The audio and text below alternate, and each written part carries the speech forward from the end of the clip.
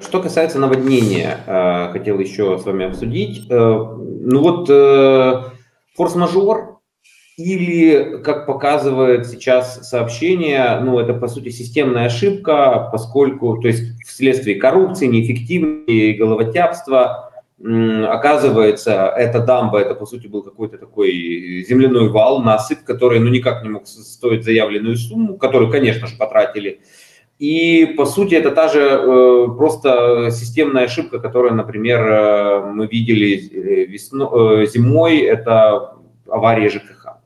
Вот к чему вы больше склоняетесь?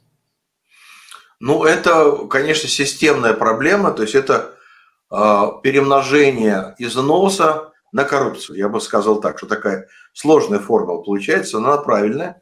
И в этом смысле мы сейчас начинаем говорить, что коррупция становится смертельной бедой России, потому что так много скоррумпировано, так много своровано, так много э, похищено из бюджетов на возведение объектов, что очень, видимо, многие, даже относительно молодые по возрасту объекты, являются источником большой беды.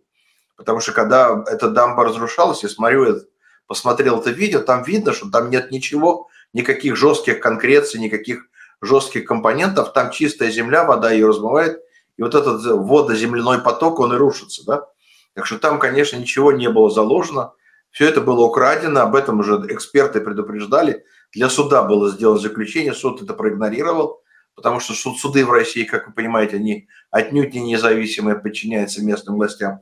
Поэтому заключение было отвергнуто, было сделано новое, которое сказало, что ну, возведено сооружение просто на радость, как хорошо. Но и в итоге, конечно, мы получили все, что получили. Поэтому Россия это страна, которая, ну, объективно была сильно изношена, и надо было ремонтировать. А то, что даже было сделано новое, сделано халтурно, потому что слишком много денег украдено. Недаром в России есть такая горькая поговорка, что Россия – страна рос, распила, откат за нос. И вот это ее как бы сущность экономическая. И это теперь проявляется, теперь вылезает на поверхность. И мы увидим еще очень много таких э, катастроф, таких проблем – и какие они будут, можно гадать, я не хочу даже озвучить, потому что людей в России пугать не хочется, они как бы ужасно пугаются на мои заявления, кричат, что я рассказываю страшилки, а потом говорят, а как же так, вы же это все предсказывали несколько месяцев назад, откуда вы знали? Это все не бог весь какая секретная информация, все это есть, все это очень сильно изношено, все надо было чинить, а вместо этого начали войну. Ну, соответственно, что же получится? На фронте, может быть, какое-то оружие появится, а внутри страны жизнь будет рушиться, потому что старая гражданская инфраструктура будет выходить из строя, и денег на это все нету. Потому что проблема появляется все время. Значит, сначала появились проблемы с ЖКХ, сейчас идет проблема в энергетике, идут проблемы с лифтами, никто не знает, что делать с лифтами. Тоже надо срочно менять огромное число лифтов, их просто нету. Тем более, что ушли еще иностранные производители лифтов, у которых были предприятия в России, российские пытаются произвести, но так столько быстро не сделаешь и как будут жить люди в больших высотных домах по всей России при отключенных лифтах, трудно представить. Это все как бы будет ну, по отдельности возникать, но это все будет складываться в катастрофу разрушающейся нормальной жизни.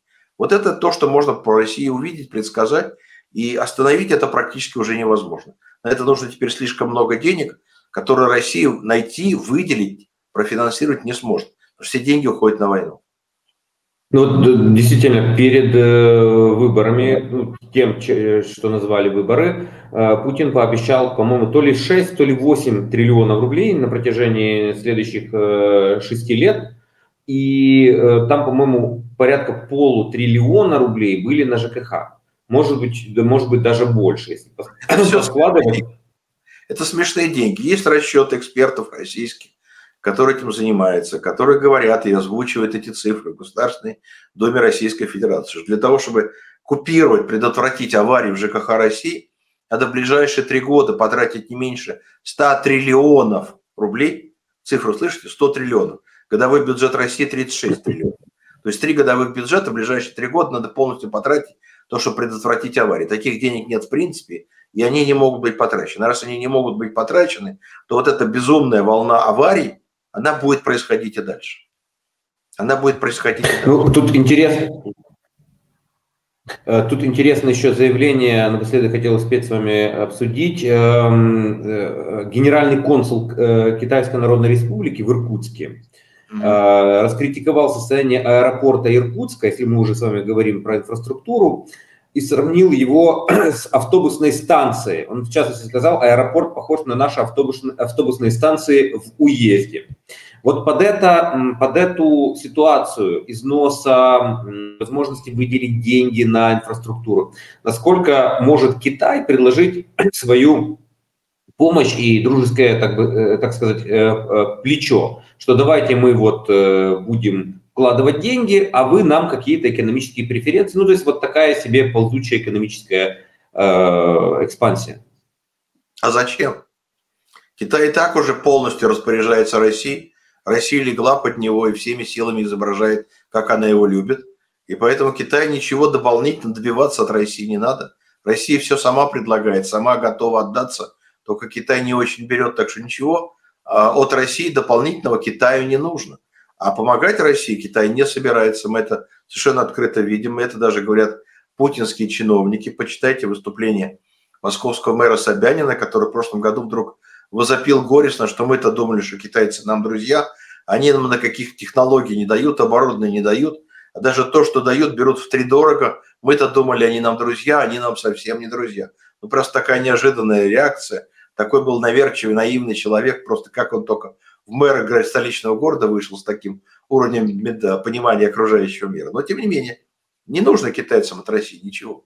Ну ничего, они все уже, что нужно, имеют. Лес получают, значит, нефть получают, да, значит, газ получает столько, сколько им нужно, поэтому даже не подписывают контракт на силу Сибири-2. Им хватает, они все от России уже поимели. А помогать России, развивать Россию, да зачем? Какой в этом смысл для Китая? Никакого. Китайцы очень рационально мыслящие люди. И совершенно нет никакой выгоды захватывать Россию, осуществлять экспансию в Россию, подкармливать Россию, ремонтировать Россию. Это Китаю не нужно. Э, Игорь Владимирович, спасибо вам за этот разговор, как всегда интереснейший. Игорь Липсиц, российский экономист, был э, с нами. Друзья, поставьте лайк этому видео, оно того стоит. Ну и подпишитесь на фабрику новостей, если еще этого не сделали. Меня зовут Александр Шульга. До встречи.